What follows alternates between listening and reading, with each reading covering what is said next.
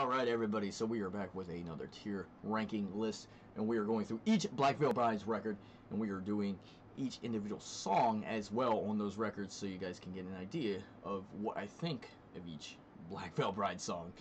And what is your favorite Black Veil Bride song of all time? What's your favorite album of all time? Let me know by commenting down below. We've done We Stitch These Wounds, we've done Set the World on Fire, we've done Wretched and Divine, We've done BVB4 already, so if you guys are unaware of those, go check those out as well if you haven't already. That would be appreciated. I have a playlist saying Black Veil Brides tier rankings. That's where you would go and find that. And Black Veil Brides also released a new single with a new music video, Born Again, very recently. And if you guys would go over to that video, that'd be awesome to see what my opinion of that is as well. And I would like to hear your guys' opinion on that as well. You can go over to that and we can discuss that there. I will leave a link down below in the description so you guys have direct access to that as well. And BVB Vale is their fifth studio album. Fifth, not fourth. and it was released January 12th, 2018. John Feldmann did the production on this one. Jake Pitts also gets a credit as well on this. He does some pretty damn good work. I don't know any of the bands that he's worked with off the top of my head, but I've heard some of his stuff is really damn good. And he has a YouTube channel as well, which I can leave a link to down below. You should go check out his shit. He's really fucking cool. Alright, we're going to get into the tier ranking then. Alright everybody, so no curveballs here really. I just changed up the wording on the each individual row, the rankings if you will. Really freaking good, basically gold. Great for silver, mediocre, okay, you know, it's going to be brown. Not good is green, and then not familiar is just going to be in this, I guess, different shade of green here. So the album is down here, and it's not in any particular order. It's just in random order. It's not in the actual track listing that you would hear on the record. And Alright, so it starts out with, here on the least on this list, with Ballad of the Lonely Hearts. Um, this one I'm not crazy, crazy, crazy familiar with, but I do remember liking it. Um, I think it's the one that had like a really, really bluesy kind of solo in the middle of it. I'm gonna put this one in mediocre, just because like I vaguely remember it, but I, re I remember enough so it doesn't go down here, but I don't remember it like that, so eh, we'll, we'll put it in there. Throw the first stone. This had an edgy, edgy fucking riff to it. Um, I dug this one, but where would this one go? I wouldn't go into really freaking good.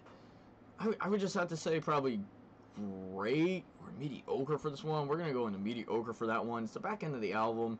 Vale Where This Ends. I really freaking love this album outro right here. I had so much harmonization. Um, I was every almost every time I listened to the song, I harmonized with it. So, uh, yeah, we're gonna go into great for that one. I don't think it's really freaking good, but it's it's fucking good. And in P Inception, Inception's ad finum. I, I, I guess that's Latin or something. I don't know how to pronunciate that or pronounce that. Yeah, grammar Nazis out there, freaking roast me. Go for it. Um, yeah, I guess it's okay. I, I don't know. don't really give that one a good listen. Last one is not the last one on this freaking list, but it's a damn good song. We're to go in the great for that one. And by the way, this album, not really like, um, at the end of the day, not that there isn't any shredding on this album per se, but this is more of just like a, more of a vocal-based album in my opinion. Um, I know I say this about pretty much every Black Veil record and almost every single song, but I feel like I feel like this is driven more by the choruses and the vocals than anything. Um, so less emphasis on like the riffs and all that good shit, more on the melody. Just so you guys know. And Wake Up's no exception. Wake Up!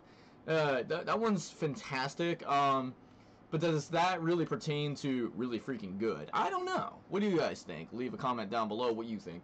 Um, it's hard to say. Um, this one is wow, um, great or really freaking good. It's definitely not mediocre. I'm just gonna put great for this one. When they call my name. I need to practice. God damn. I cannot freaking sing that. Anyway, that's a really kind of, um, I, re I recall this one as more of like kind of just like a mid-tempo one. Not, not really upbeat, but it was, it was really catchy. Not really freaking good, but it's gonna go in the great.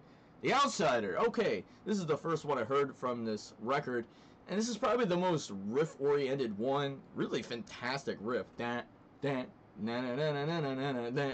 This is like a dope ass riff. Um, cool solo in it. I mean, it's catchy through the verses, the uh, say your prayers every night, blah blah blah. I forget lyrics all the time. Yeah, really catchy. Um, this is going really freaking good. We got our first really freaking good song from this record. Won't be the last. You got to stay tuned for that part, man. All right, or woman. I don't want to assume gender out there. We we have a wide variety of freaking people listening. Hopefully, we do. Uh, anyway. Damn Walking, Dead Man Walking, sorry, Overture 2. Um, this one is like 8 minutes and like 35 seconds, so kind of like Master Puppets length. I think literally just by like 2 seconds they're off from each other, but um, they don't sound anything like, which is fine. Uh, but uh, this one is great. Um, I, I honestly, like, when it comes to like longer songs these days, it's very rare. Um, and I kind of just get kind of thrown off. I'm like, oh boy, here we go and which is really ironic because I like a lot of Metallica and they have a lot of songs that are long. Um, but this this was a really good one. I actually really enjoyed it all the way through. Really freaking good, no, but great is I think appropriate for that one.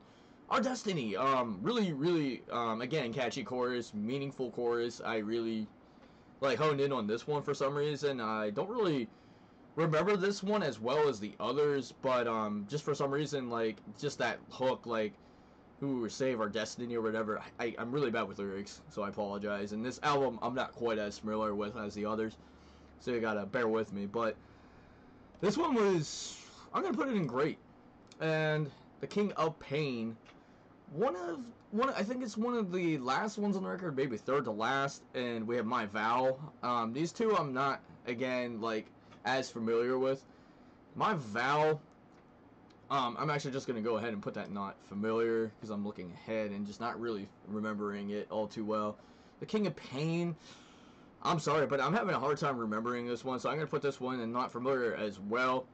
So this particular record, I've only listened to maybe like four or five times all the way through my life, and sometimes that's just not enough for me to give like a really analytical and very, yeah, a very analytical kind of analysis on it and I hate like settling for less. So, so I, I feel like you know I'm not giving you guys enough, but um, I guess that's more incentive to listen to this one more often. But every single time I have listened to it, I've enjoyed it. It's just like it's hard to distinguish every single song from each other when I just look at the track listings, if that makes sense to y'all.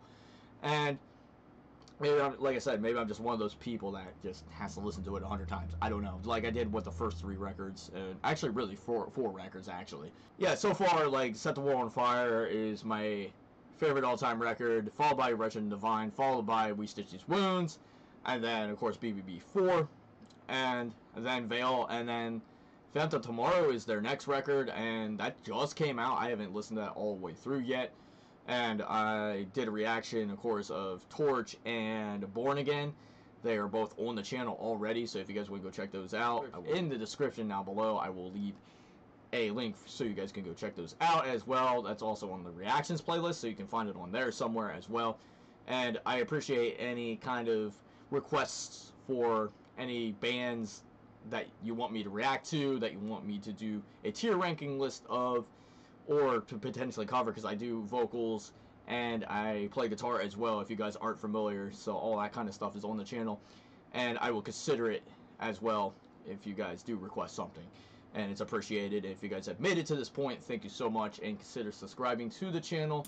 Hit that like button and ring that notification bell. It really really helps out a lot and it's really appreciated guys. And until the next one guys. Peace. And rock the fuck out guys. Continue to do so